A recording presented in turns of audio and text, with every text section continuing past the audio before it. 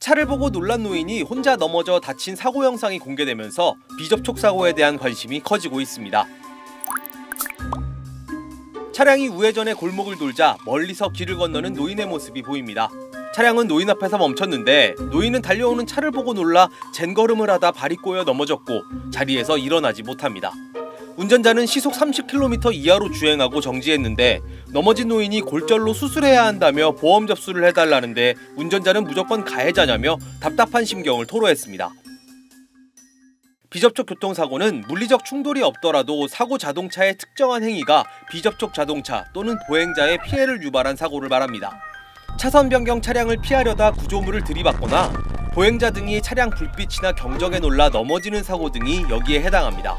그대로 떠나면 뺑소니로 가중처벌받을 수도 있습니다. 전문가들은 조금이라도 원인을 제공한 것으로 보이면 CCTV 등 관련 자료를 수집해 인과관계를 따져야 한다고 조언했습니다.